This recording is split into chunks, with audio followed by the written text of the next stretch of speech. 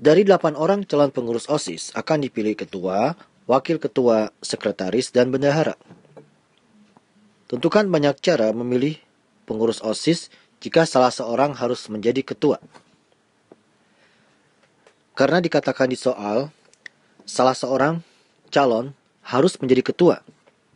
Maka semua orang berpeluang menjadi seorang ketua. Sehingga banyaknya cara memilih seorang ketua adalah 8 cara. Ya. Jadi tinggal tiga posisi ya yang akan uh, disusun cara pemilihannya. Oke, perhatikan. Karena satu orang sudah terpilih menjadi ketua, maka calon pengurus tinggal berapa? Ya, betul. Tinggal tujuh orang.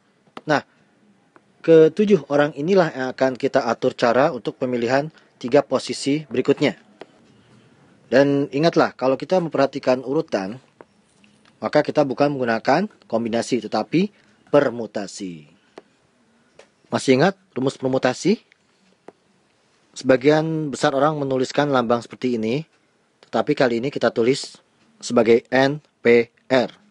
N adalah banyaknya orang yang yang uh, yang ada, sementara R adalah tiga posisi ini. Rumusnya NPR adalah iya n faktorial per n min r faktorial. Kita terapkan sekarang ya.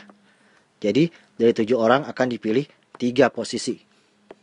7P3 sama dengan 7 faktorial per 7 kurang 3. Yaitu 4 faktorial. Kita buka 7 faktorial ini sebagai 7 kali 6 kali 5 kali 4 faktorial stop. Sebab kita tinggal mencoret 4 faktorial atas dan bawah. Kita kalikan 7 dengan 6 dan 5. Diperoleh 210.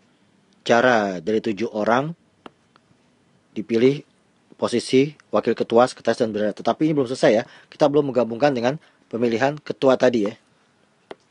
Jadi, banyak pemilihan pengurus OSIS jika salah seorang harus menjadi ketua adalah 8 dikali 210 sama dengan 1680 cara.